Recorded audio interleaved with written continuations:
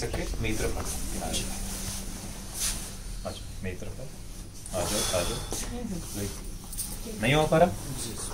आ जाओ आ जाओ और आ जाओ और आ जाओ आ जाओ ये करने भी मुश्किल हो रही जी इसीलिए तभी करवट में हो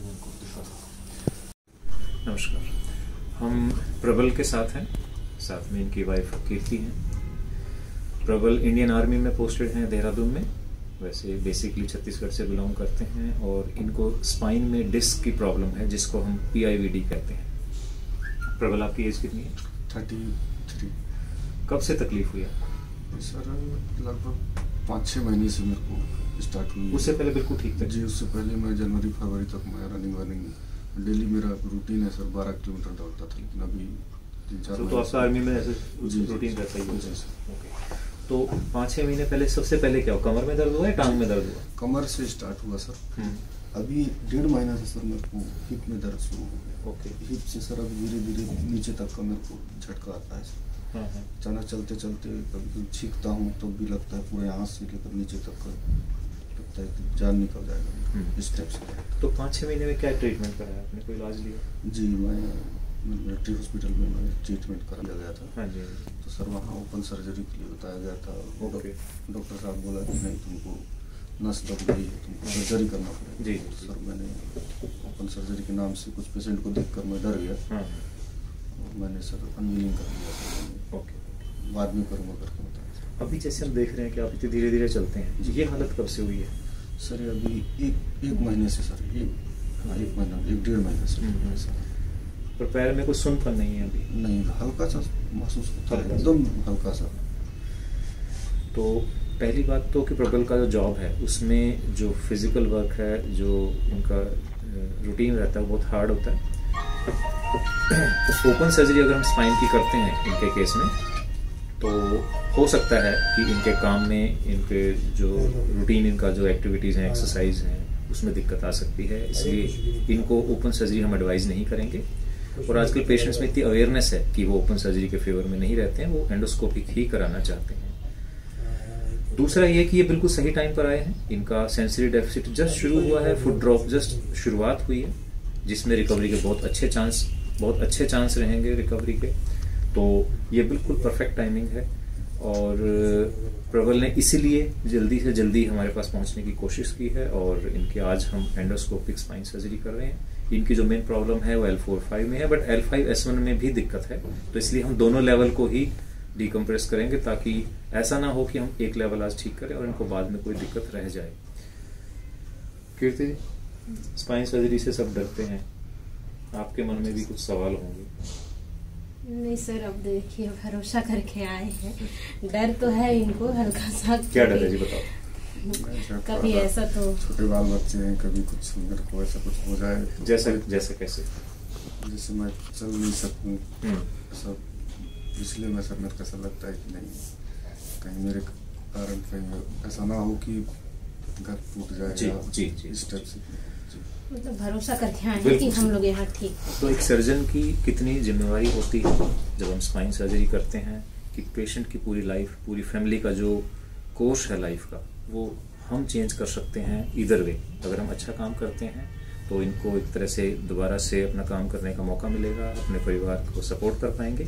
और अगर कोई कॉम्प्लिकेशन होती है तो पेशेंट के लिए कितनी बड़ी मुसीबत हो सकती है, परिवार के लिए कितनी बड़ी दिक्कत आ सकती है।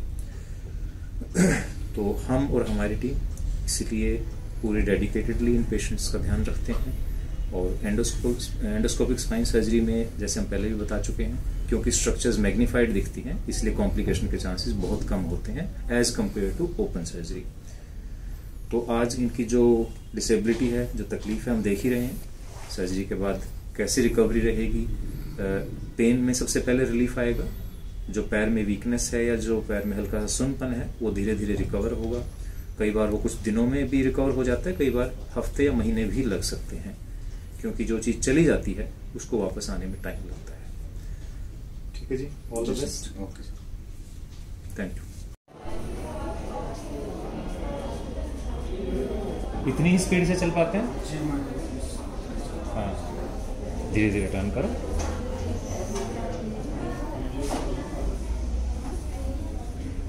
तो प्रबल को चलते हुए आगे झुकना पड़ता है।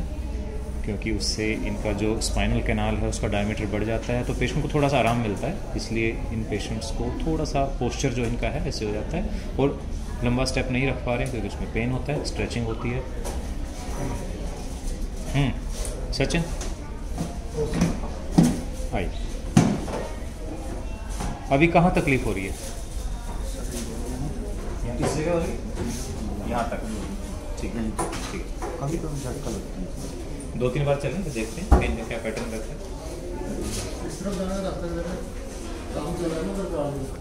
एक एक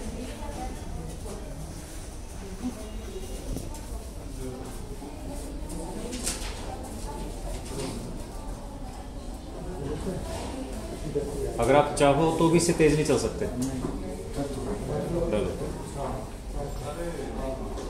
अभी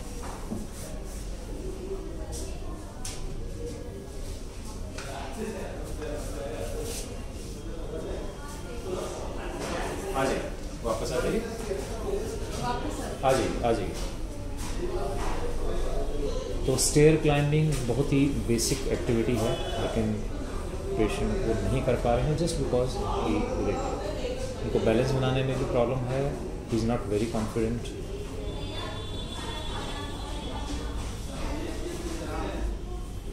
उनका राइट साइड कोई दर्द है? ऐसे उठाने में कोई दर्द तो नहीं है? नहीं ज़्यादा नहीं। Good.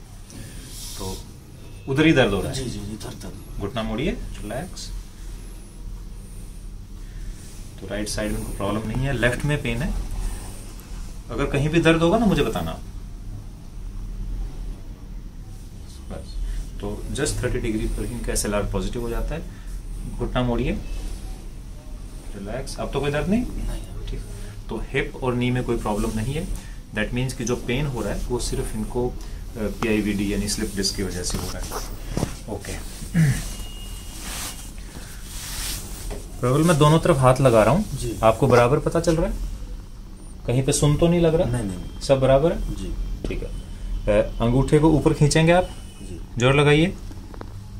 पूरे पंजे को खींचिए। देखो आ नहीं रहा पैर। देख रहे हैं? इस पैर को जैसे आप खींच पा रहे हैं इस पैर को खींचिए ये नहीं हो पा रहा। हो दैट मीन्स कि फुट ड्रॉप शुरू हो गया इनका। पावर कम हो गई है। ऐसे होना चाहिए। एक बार ढीला छोड़िए रिलैक्स चलिए पूरे पैर को ऊपर की तरफ़ खींचिए। ऊपर की तरफ़ मोड़िए। हम्म ये नहीं जा रहा है आपका पूरा।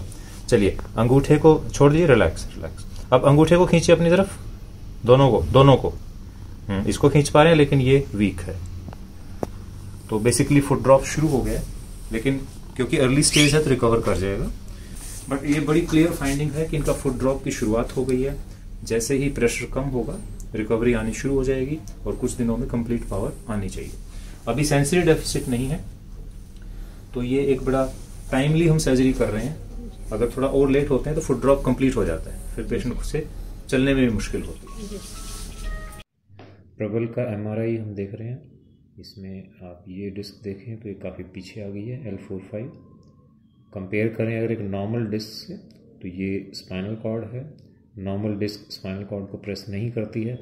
लेकिन ये जो एल फोर फाइव की डिस्क है, ये काफ़ी इसको प्रेस कर रही है बोन के अगेंस्ट इसी वजह से उनका फुट ड्रॉप हो रहा है और लेफ़्ट साइड में हो रहा है। वो हम देखते हैं कि राइट में क्यों नहीं है लेफ़्ट में क्यों है, वो एक्सियल सेक्शन में पता चलेगा। ये नॉर्मल डिस्क पहले देखते हैं। इसमें आप देखेंगे कि लेफ़्ट साइड और राइट साइड दोनों रास्ता खुला हुआ है। लेकिन अगर एल फोर फाइव पर चलते हैं तो आप देखेंगे डिस्क पूरा पीछे आ गई है। और ये जो स्पाइनल कॉर्ड का जो ट्रायंगल होता है जिसमें से नर्व्स हमारी ट्रैवल करती हैं। यहाँ बहुत छोटा हो गया है, पूरा स्क्वीज कर दिया है डिस्क ने। इसी वजह से इनको लेफ़्ट साइड में फुट ड्रॉप है। तो जब हम एंडोस्कोपिक प्रोसीजर करेंगे तो इस रास्ते को पूरा खोल देंगे, ताकि इनका सर्कुलेशन फिर से बने और इनका फुट ड्रॉप और जो पेन है, जो शैटिका है, वो सब ठीक हो जाए और इनका पोस्चर करेक्ट हो जाए।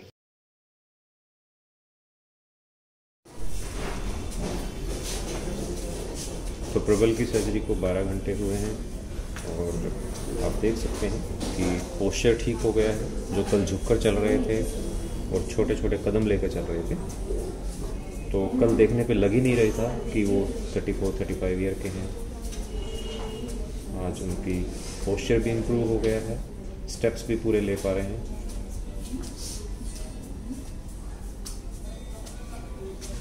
अभी कितना दर्द है?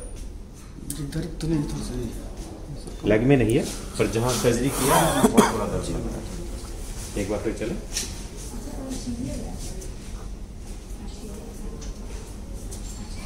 हालाँकि अभी भी इनको थोड़ा संभल के चलना पड़ रहा है, क्योंकि लेफ़्ट लेग में जो वीकनेस थी, वो पूरी तरह नहीं गई है, उसमें टाइम लगता है।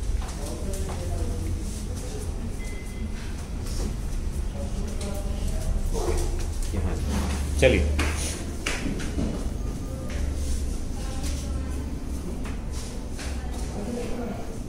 आ जाइए।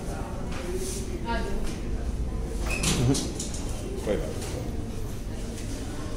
तो यही एडवांटेज है एंडोस्कोपिक स्पाइन सर्जरी की कि पेशेंट दिनों या महीनों में नहीं विद इन आवर्स घंटों में ही इम्प्रूव कर जाते हैं। बैठिए।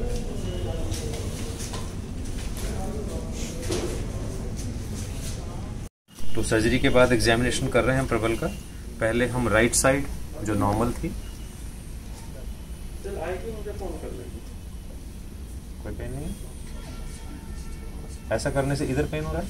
इस साइड में। इस साइड में पेन ठीक है। रिलैक्स अब left side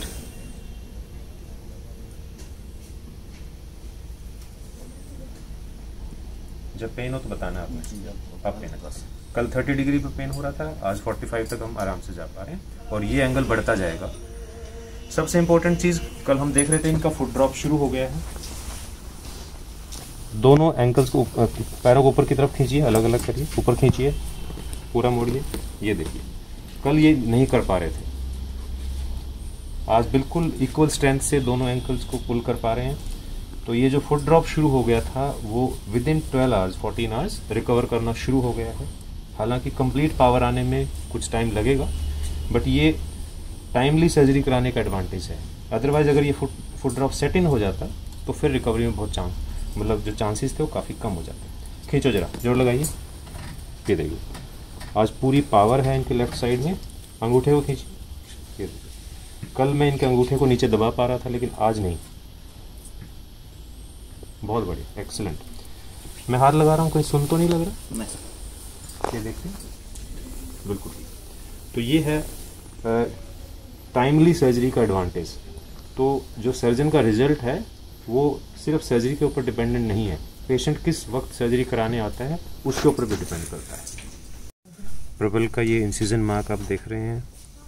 just finger breath और इसी एक इंसिजन से हमने एल फोर फाइव और एल फाइव एस वन दोनों की सर्जरी कर पाए हैं. तो एंडोस्कोपिक टेक्निक में ऐसा नहीं है कि आपको बार बार इधर उधर कट लगाने पड़ते हैं. एक ही कट से आप दो लेवल ऑपरेट कर सकते हैं. और अभी जैसे कल शाम को ही सर्जरी हुई है। अभी हम अगर प्रेस करते हैं तो कोई ब्लीडिंग नहीं है। प्रबल दर्द कितना है? नहीं है तो नॉर्मल है। मामूली दर्द। है तो ये बिल्कुल कंफर्टेबल है पेशेंट ये फ़र्स्ट ड्रेसिंग है। इसके बाद अगली ड्रेसिंग हम फाइव डेज़ के बाद करेंगे जो कि लास्ट होगी। बार बार ड्रेसिंग की ज़रूरत है नहीं इसमें। पेशेंट बिल्कुल कंफर्टेबल है। ऑपरेटिव साइड पे थोड़ा सा डिस्कम्फर्ट पहले 24 या 48 घंटे तक रहता है उसके बाद वो भी ख़त्म हो जाता है। आइए। तो प्रबल को चार दिन हो गए हैं एंडोस्कोपिक सर्जरी के बाद। काफ़ी बेटर कंट्रोल लग रहा है। हालाँकि 100 परसेंट रिकवरी में थोड़ा टाइम लगता है but he is much better जो नॉर्मल स्टेप की लेंथ है, जो कदम जितना हम बढ़ाते हैं, वो उतना ही चल रहे हैं। पहले बहुत छोटे छोटे कदम से चल रहे थे। पोस्चर करेक्शन तो पहले ही दिन था, लेकिन स्टेप की लेंथ हम पूरी गेन नहीं कर पाए थे। अब इनका पैर पूरा आगे बढ़ रहा है कॉन्फिडेंटली चल रहे हैं। और मुझे लगता है कि आने वाले कुछ वीक्स में ये जो इनका चलने का जो तरीका है, और भी बेटर हो जाएगा। काफ़ी कॉन्फिडेंट हैं, अच्छे से नॉर्मल इंसान की तरह चल रहे हैं। अब इनको कोई भी ऐसा डर नहीं लग रहा है, जैसे पहले इनको सीढ़ी चढ़ने में लगता था कि गिर जाएँगे। काफ़ी अच्छे से चल रहे हैं।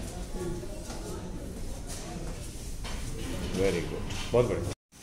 तो प्रबल और कीर्ति आज हमारे पास सर्जरी के चार दिन के बाद आए। तो प्रबल जो सर्जरी से पहले दिक्कत थी उसमें कितना इम्प्रूवमेंट लग रहा है चार दिन में? लगभग नाइन्टी परसेंट सर मैं ठीक हो गया। अब पेन नहीं है? नहीं अब जैसे अगर आप चलना चाहो जी। तो कितना चल पा रहे हो? कल शाम को लगभग दो किलोमीटर चल लिया दो किलोमीटर चले। तो दो किलोमीटर के बाद आपको पेन हुआ या थकावट हुई? थकावट। पेन नहीं हुआ पेन हालाँकि आपके भी मैं देख रहा था थोड़ा सा वीकनेस है हल्की सी पैर में। बट जैसे पहले बिल्कुल भी नहीं उठा पा रहे थे वो बात नहीं है सीढ़ी भी चढ़ पा रहे हैं आराम से। तो जो आपका डिसीज़न था एंडोस्कोपिक सर्जरी का आप सेटिस्फाइड जी बिल्कुल सर। तो यही एडवांटेज है कि हम एंडोस्कोपिक स्पाइन सर्जरी इन पेशेंट्स को जो ऑफ़र कर रहे हैं इनका जो रिकवरी है वो बहुत क्विक है। जैसे प्रबल तो इंडियन आर्मी में काम करते हैं और ये हमारा सौभाग्य है कि हम अपने एक आर्मी के जवान की सेवा कर पाए और इनको हम पेन से राहत दे पाए। आपके बहुत सारे आप जैसे पेशेंट हैं जी। जो सर्जरी से डर रहे हैं। जी बहुत है। बहुत पेशेंट है जो सर्जरी कराना ही नहीं चाहते। नहीं चाहते। आप अपने एक्सपीरियंस से उनको क्या मैसेज देना चाहते हैं? सर उनको तो यही बताना चाहूँगा सर कि ऐसा कोई बहुत बड़ा आपका हड्डी वगैरह ये सब नहीं काटा जाता है। नॉर्मल एक एक एक इंच का आपका नॉर्मल सर्जरी होता है, आपको कोई दिक्कत नहीं होगा। आप लोग करा सकते हैं बेहिचक तो हम ये जो वीडियो शेयर करते हैं पेशेंट के एक्सपीरियंस आपको बताते हैं। हम सिर्फ़ आपको गाइड करना चाहते हैं कि आप कहीं भी सर्जरी कराइए। गो फॉर एंडोस्कोपिक टेक्निक क्योंकि इसकी बहुत एडवांटेज है आपको। और सबसे बड़ी बात है कि जो डिस्क प्रॉब्लम है, ये जनरली 30 से 50 के बीच की एज में होती है, जब हम मैक्सिमली एक्टिव होते हैं, जब हमारी जिम्मेवारियाँ ज़्यादा होती हैं। तो इस वक्त में अगर हम कोई मेजर ओपन सर्जरी कराते हैं तो आपकी बहुत सारी एक्टिविटीज़ रिस्ट्रिक्ट हो जाती हैं। तो आई थिंक मुझे भी कुछ कहने की ज़रूरत नहीं है। प्रबल की जो बात है वो आपके सामने है। कीर्ति जी? जी। आप डरे हुए थे सर्जरी से पहले? थोड़ा सा तो सर घबराहट हो रहा था क्या होगा क्या नहीं होगा। तो क्या हुआ? नहीं सब जो भी हुआ है अच्छा हो गया है। जी। थैंक यू मैं तो सर लास्ट फाइनली सोच के आया था कि चाहे यहाँ से दोबारा आऊँगा ही नहीं। जो होगा फाइनली वही ठीक होके ही आना है। तो हमारी टीम की जो मेहनत है वो बिल्कुल उसका रिज़ल्ट सामने है और इन पेशेंट्स का विश्वास ऐसे ही बना रहे बस हम यही चाहते हैं। थैंक यू वेरी मच जी। ठीक है थैंक यू आपने इतना विश्वास दिखाया और जो अभी इतनी दूर आए हैं छत्तीसगढ़ से आए थे तो आई थिंक एक अच्छा एक्सपीरियंस लेके आप वापस घर जा रहे हैं। बहुत बहुत धन्यवाद। Thank you